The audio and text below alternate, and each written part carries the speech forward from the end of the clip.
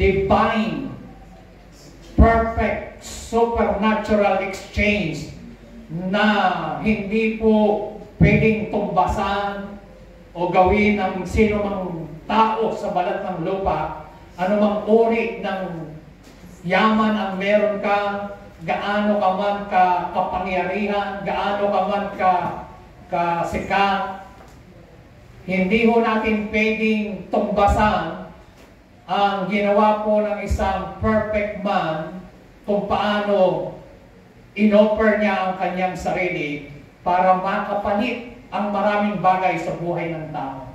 So ito po ang ating uh, tema ngayong April. Ang pinaka-topic po natin ngayon ay Jesus, the perfect offering.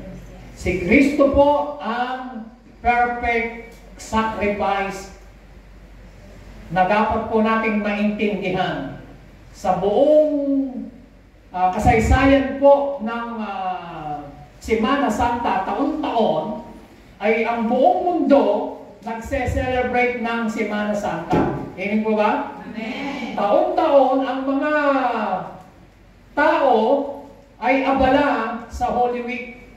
Simula po ngayon, ang tinatawag po nila na linggo ng palaspans. No?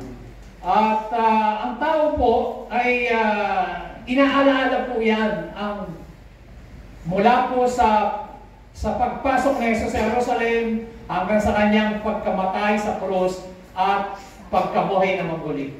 So mga kapatid, sa kabila ng taon-taon na ginaganap yung celebration, taon-taon na ginaganap yung pag-alaala, pero bihira sa mga tao na lubusan talaga nilang naiintindihan o nauunawaan nila yung ginawa ni Kristo nung si Kristo po ay napako sa krus. Marami pong tao, ginagawa lang nila bilang religious uh, activities o nakasanayan, nakagawian, nakagisnan, o nakalakihan o minana sa kanilang mga lolo, lola, mga magulang. Kaya po, taon-taon, ginagawa na nila yun, kaya po taon-taon may mga sinakulo, taon-taon may mga nagpapapako sa cross, taon-taon may mga nagpipinitensya, taon-taon may mga nagpapanata, nagsasakripisyo, pero mga kapatid, ginagawa lang nila yon for the sake of religious practices, hindi pa talaga nila naiintindihan kung ano ba yung tunay na kahulugan na ginawa ni Kristo nung siya ay napako sa krus. At ngayong araw na ito mga kapatid, gusto kong simulan, nabasahin po muna natin ang Hebrews chapter 10 verse 14. Ang sabi po ng Word of God, With one sacrifice, then He has made perfect forever those who are purified from sin. Sa ibang translation, New American Standard, ang sabi po dyan, For by one offering, He has perfected for all time those who are sanctified.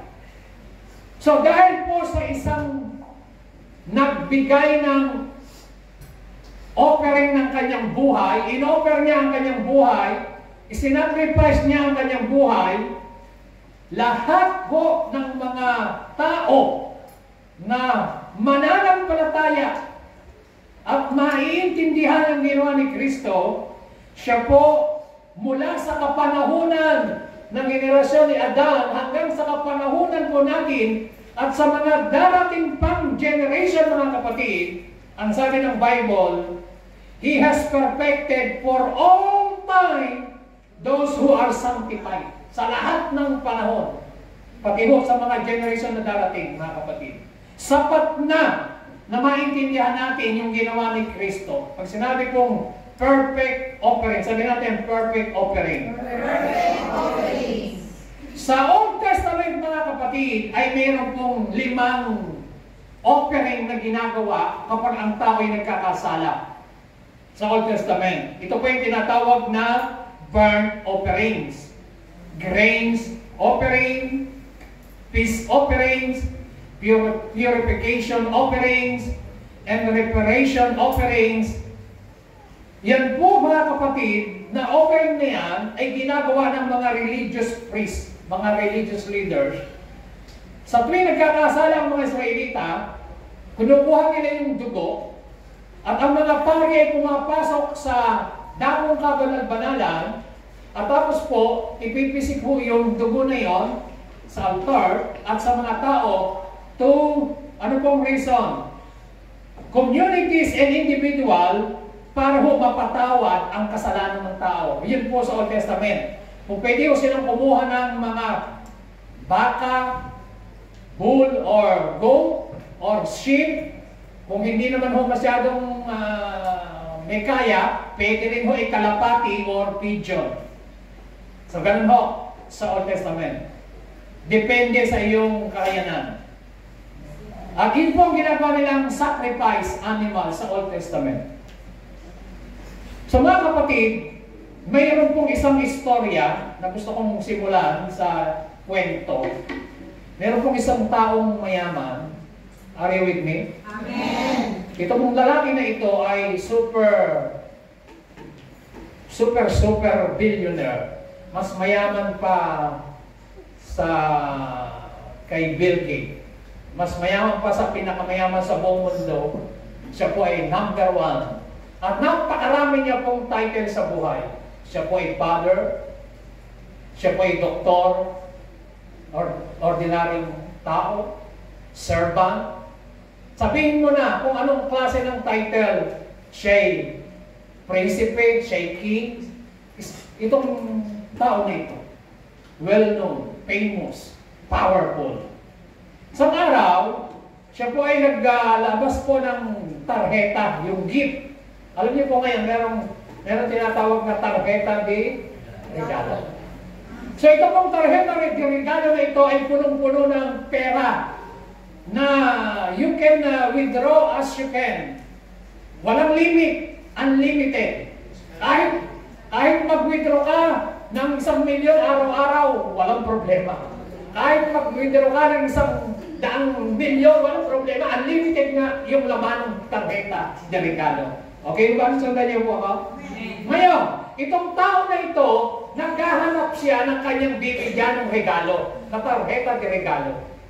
At itong tarheta na ito, habang siya naglalakad, nakakita siya ng isang uh, nakabihis na tao, mukhang uh, religyoso, maganda sasakyan, uh, maganda ang kotse, naka-ayos. Inalok niya ng tarheta. Tapos sabi ho nung lalaki, hindi ho pinansin yung tarjeta, itinapon lang. So ginawa ho, naghanap na naman siya. Sa paglalakad niya, nakakita po siya ng pulubi. Mahirap. Ang sabi ng uh, lalaki, itong tarjeta na ito ay tarjeta na regalo. No? Ibibigay ko to sa iyo, libre, walang bayan, regalo ko nga. Pero, uh, kung gusto mo, Mag-withdraw ka, gusto mo, bibili pagkain, bibili damit.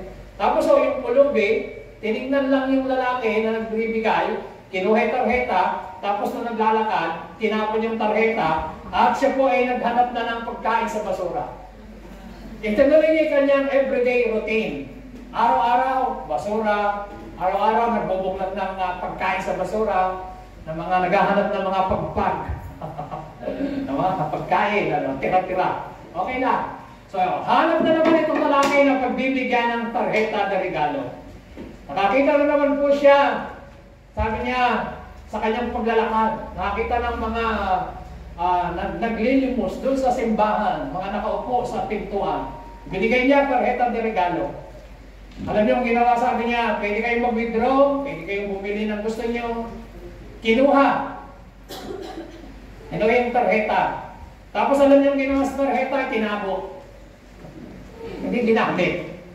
Tinabo lang. So, wala rin. Hindi rin nagbago yung buhay niya kasi yung tarjeta, hindi naman niya ginamit, itinabo lang. Pero hindi niya alam, magbabago yung buhay niya kapag ginamit niya yung tarjeta dahil Okay? O di wala rin ho. Tuloy na naman siya sa paghahanap. Sabi niya, wala pa akong nakakita. Nakakita ngayon siya ng isang babae. Sa babae na may sakit, may mahirap ang buhay, isang babae na may problema, isang babae na disparado, isang babae na matindi yung kanyang pangangailangan. Sabi ko ng lalaki, ibibigay ko sa iyo itong tarjeta na regalo na ito. Pwede kang mag-withdraw. Alam niyo, yung ginawa ng babae kasi po eh, mahirap lang yung itsura niya, mukhang talagang basahan. Ang ginawa ng babae, sabi ng lalaki, pwede ka mag-withdraw, i-try, try mo. Nagpunta ko siya agad sa bangko.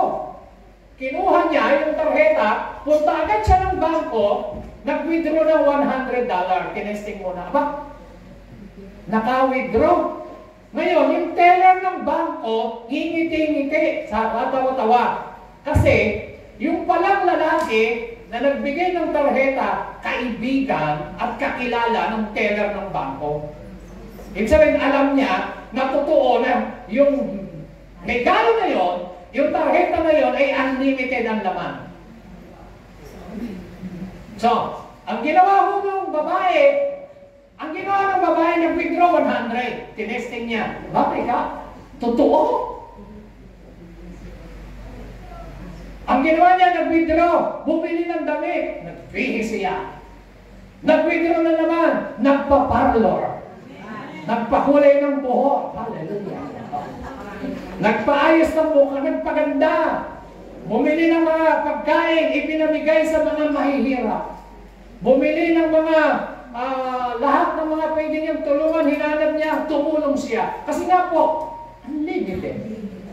At alam niya mga kapatid, natuklasan niya, totoo ang laman ng regalo na ito.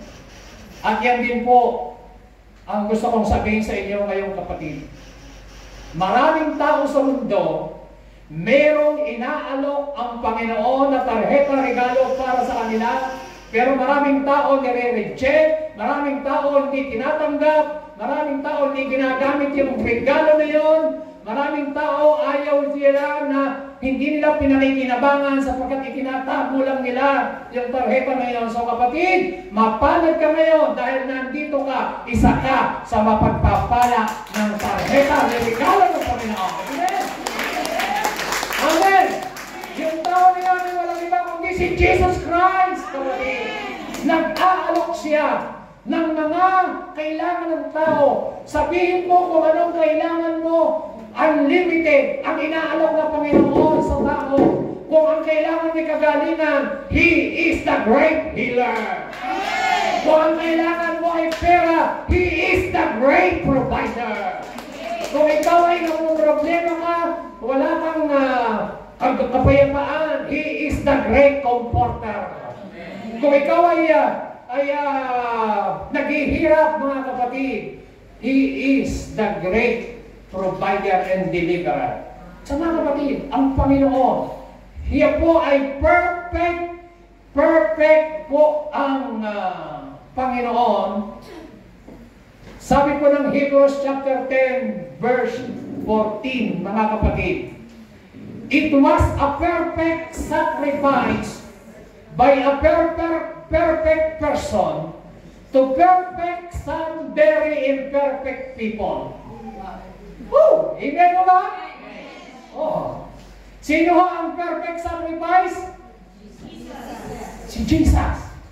Para gawin niyang perfecto ang mga taong imperfect. Sino sa inyo ang naniniwala na pwede tayong gawing perfecto ni Lord? Amen. Sabi naman ng iba, nagtatakbong kaisipan, Pastor, isa lang ang perfect, si Lord. At saka ang pangalan na yung perfecto, siya. Pero wala namang taong perfect. Yes, totoo po. Walang taong perfect. Lahat nagkasala. Romans 3.23, walang matuwid, wala kahit isa. Pero meron pong isang taong perfect na nakipagpalit, na kinuha niya ang ating mga sakit, kinuha niya ang ating mga kahinaan, kinuha niya ang ating mga karamdaman, at ibinigay niya ang kanyang katuwiran, ibinigay niya ang kanyang kabanalan, ibinigay niya ang kanyang pagpapatawad sa akin. He is the perfect sacrifice, the Lord Jesus Christ. Amen? Hallelujah! Ang sabi, He everything that needed to be done for everyone who takes part in the purifying process. Ginawa ng Panginoon ang lahat. Ito po ang hindi naiintindihan ng tao mga kapatid. Kasi po, pag naiintindihan mo na si Jesus Christ pala na napako sa krus ay sapat na. He is the perfect one. He is the perfect offering. He is the perfect sacrifice. Titigil ka na sa sarili mo ng pagsasakripisyo. Ang gagawin mo na lang mga kapatid ay tanggapin mo by faith. You are saved by grace through faith through our Lord Jesus Christ, not from yourselves, so that not, so that not No one can boast, mga kapatid, para walang taong magmalaki sa Panginoon. So ang salvation ay by grace through faith. Ginawa niya, tatlong bagay po. The death of Jesus on the cross was a sacrifice ordained by God. Para po siyang isang pari na siya po ang pari priest, high priest ang Panginoon na nagsakripisyo para po sa atin. And He was a perfect sacrifice and offering. Kaya nga po, the cross is the center of all God's provision. The whole gospel is centered on the cross. Ang mensahe po ng Ebanghelyo mga kapatid ay nakasentro kay Kristo sa pagkapako sa cross. Palapakan natin ang Panginoon. Amen?